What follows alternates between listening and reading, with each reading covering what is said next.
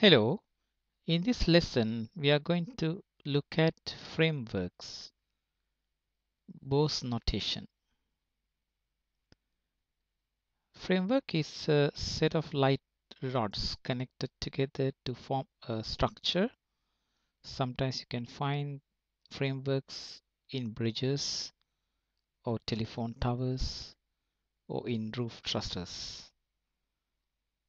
So let's see a simple example here. This, this is a framework here. The figure below shows a light framework consisting of three light rods. That means we assume the rods does not have any weight. Lengths of the rods AB, BC and CA are 5 centimeters, 4 centimeters and 3 centimeters respectively. The framework is supported at A and B so that A and B lie in a horizontal line. This is a horizontal line. A load of 100 newtons acts vertically downwards at the point C. Using Bow's notation, find the stresses in the rods and the values of the reactions at A and B. Note that we need to find out the st stresses. There are three rods and two reactions. Altogether five variables are to be found. Let's see the notation. Both notations says is follows. When several light rods are pinned together and the joint is in total equilibrium or if it is not moving, then the resultant force must be zero. So basically, if there are three forces or more forces, basically, when you add them, finally the resultant should be zero. This means that if we add up all the forces as vectors, they must form a closed polygon. So we have two vectors and third vector is the remaining side of the triangle. If one or even two of these forces are unknown, then it must be the vector which closes the polygon. If we know two, two vectors and the last one is the resultant. In order to obtain the forces of each rod and the reactions, we can use the Bow's notation as follows. So we're going to look at how are we going to solve this problem here by using the Bow's notation. First step is first label the sub-regions as follows to obtain the space diagram. Basically, there are spaces in between uh, forces. For example, this force and this force has a space here and there's a space here there's a space here. There are three spaces outside and there's one inner space.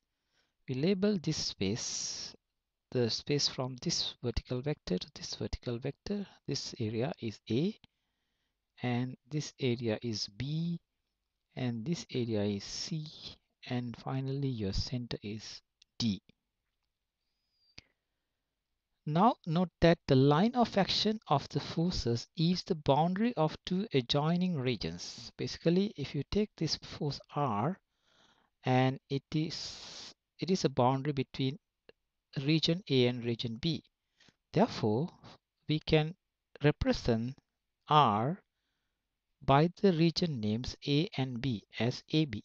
So force R can be represented as AB because R is the boundary between region A and region B.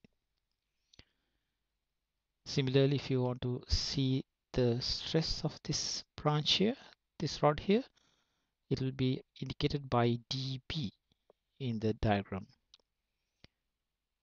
So let's see how are we going to draw the diagrams. First, we use the space diagram to, to obtain the force polygon. So there are four spaces, three outer spaces and one in the middle. And what we know here is that there is a force of 100 newtons acting vertically downwards here. Let's try to draw the force polygon using the space diagram that we have obtained here.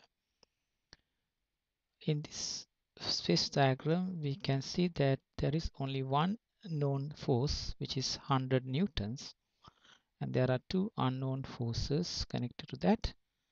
And we'll start from here which is 100 newtons. So we'll draw the force here a proportional to 100 newtons. So we can take the length of this line to be equal to say 4 centimeters to represent 100 newtons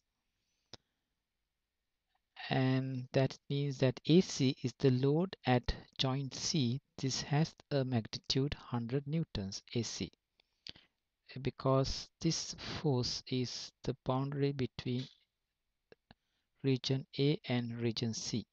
Therefore, it is called AC. And now we can draw a line parallel to this force from C because this one is bounded by C and D.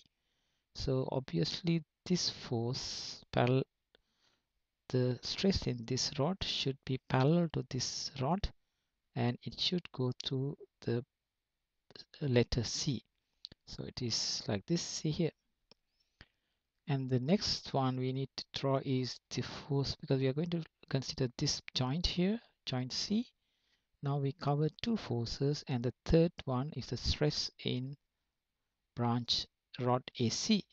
So we'll drop a line parallel to this one going through point A because A is the other region that actually uh, the rod is bounded by region A and region D. So we know A and C, therefore A will be the common point for this force. So you drop a line parallel to this one. What happens now is that these two forces join at this point and that point is the region D. So basically the force AD is the force in this rod and force CD is the force in this rod CB.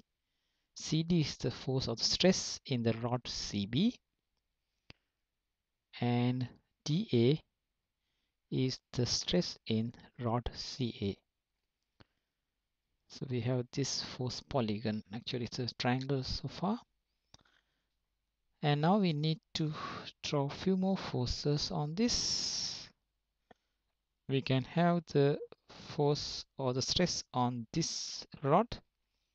We'll bring it down there.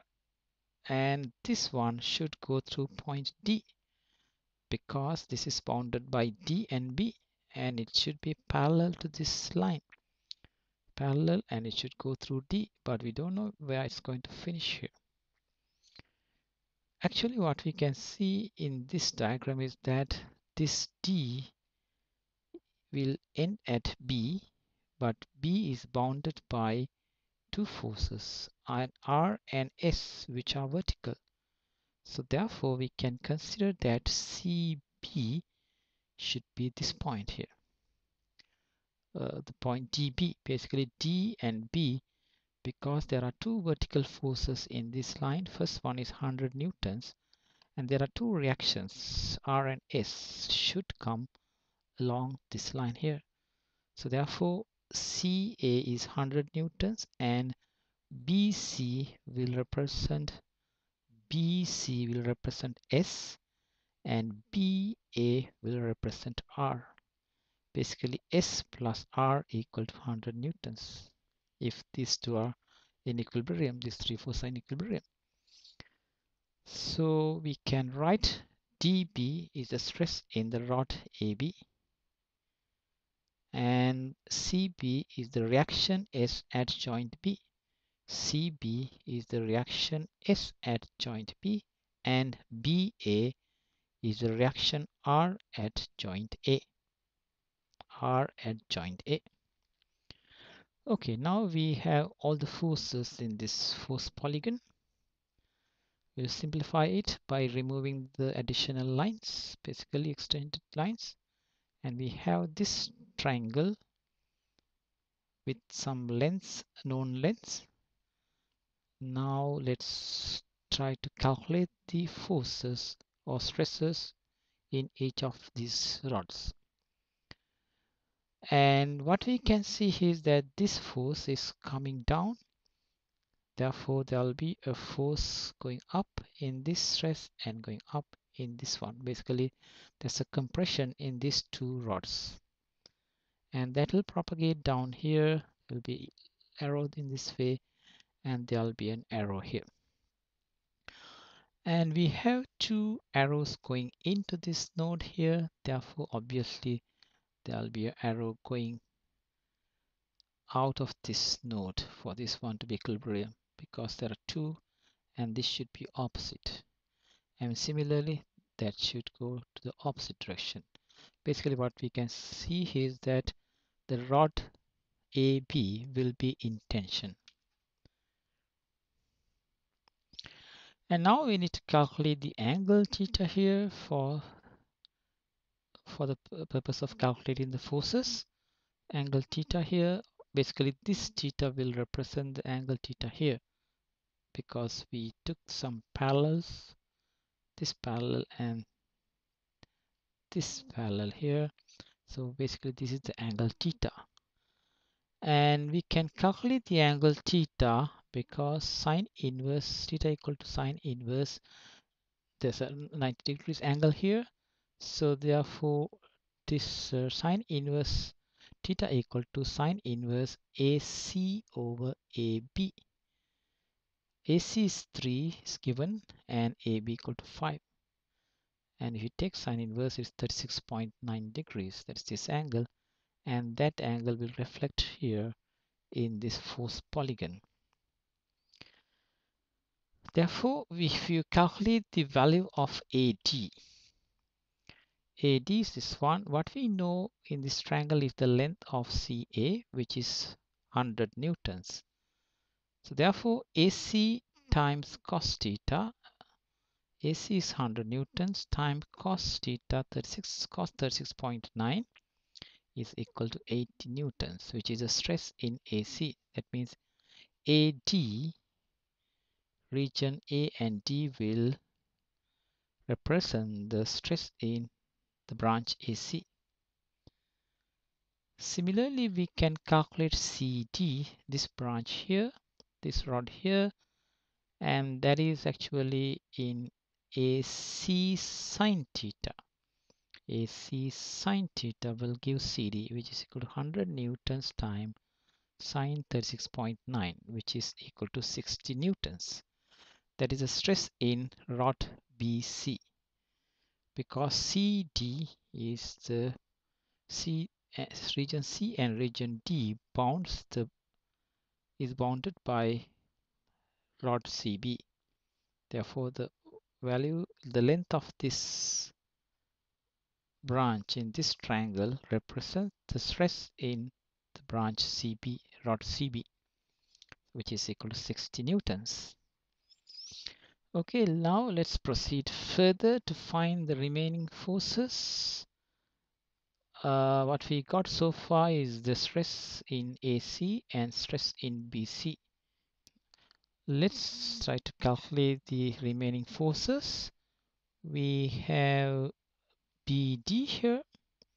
BD can be calculated by AD sine theta and AD is equal to 80 newtons that is stress in AC 80 sine theta will give will be equal to BD it's 80 times sine 36.9 equal to BD 48 newtons P and D so actually the stress uh, in rod R rod AB is the bounding region between B and D and B Therefore, 48 Newton is actually equal to the stress in rod AB, which is a tension.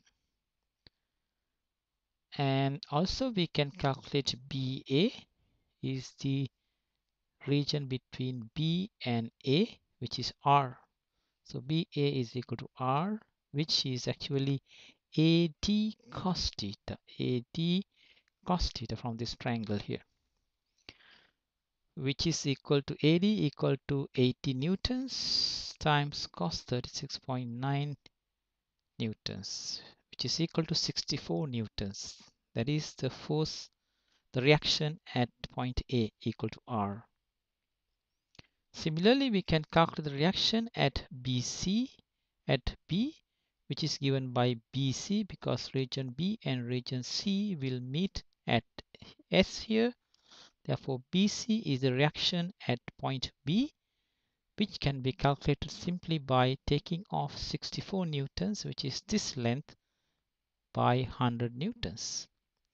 So finally we'll end up with a value for S which is the reaction at point B equal to 36 newtons.